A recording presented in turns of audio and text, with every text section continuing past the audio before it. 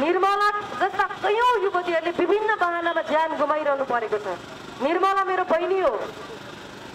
र उसले न्याय पाउँदिन भने अबको चार वर्षसम्म हामी महिलाहरू जीवित हुन्छौँ कि हुँदैनौँ यो पनि हामीलाई भनिदिनु पर्यो।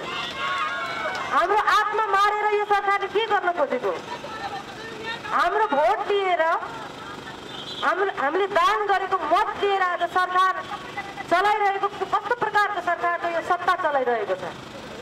यदि हामीले बोल्ने भाषा प्रष्टसँगले हामीले बोलिरहेको भाषा यो सरकारले बुझ्दैन भने हामीले अर्को के भाषा बोल्नुपर्छ?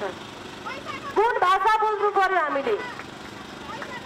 र अब त तपाईँ हामीले बुझिसकेका छौँ कि यो सरकार कति लाचार भएको छ।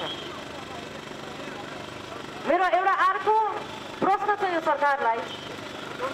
हामीलाई प्रश्न भनिदिनुहोस्। हामी जनताको न्याय ठुलो कि एउटा अपराधीलाई लुकाउनु पर्ने कुरा ठुलो छ।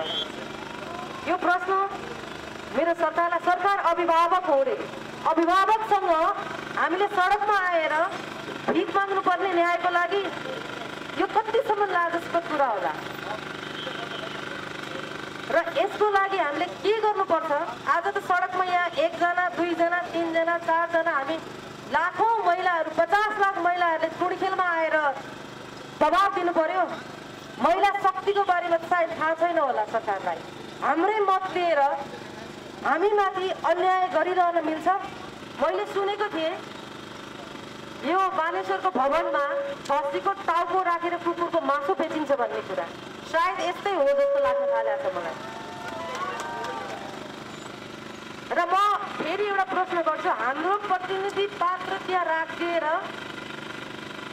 समस्याको समाधान भइहाल्छ भन्ने जुन भ्रम छ नि त्यो भ्रममा बसेका ती महिला दिदीबहिनीहरू जसले हाम्रो प्रतिनिधि गर्नुहुन्छ उहाँहरू के चाहिँ खिचडी पकाइरहनु भएको छ र आज हामी सडकमा आउनु परेको हो?